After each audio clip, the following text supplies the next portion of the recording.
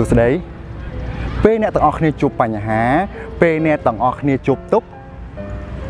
អ្នកទាំងអស់គ្នាតែងតែបែរបន់ព្រះជាម្ចាស់តែងតែបែបន់ទៅលើអ្វីដែលជាជំនឿរបស់អ្នកទាំងអស់គ្នា ដើម្បីមកបំពេញនៅគោលបំណងហើយនឹងជួយនៅអ្វីដែលជាបញ្ហាសម្រាប់ជីវិតអ្នកទាំងអស់គ្នា វាការពិតដែរវាអាចទៅរួចដែរ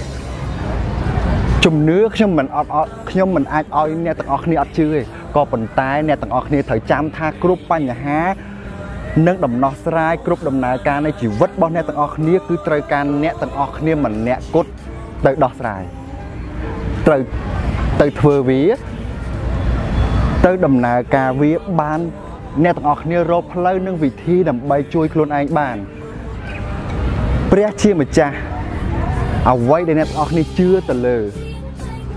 គាត់មិនអាចមកផ្ដល់អ្វីដែលជាបំណងមិនអាចមកផ្ដល់អ្វីដែលជាសំណុំពរអ្នកទាំងអស់គ្នាបាននោះទេក្រៅពីខ្លួនយើងទៅធ្វើរឿងហ្នឹងដើម្បីបំពេញក្តីបំណងខ្លួនឯង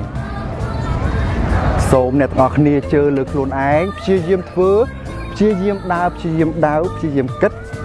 រកផ្លូវទៅកាន់អ្វីដែលជាទិសដៅរបស់អ្នកទាំងអស់គ្នា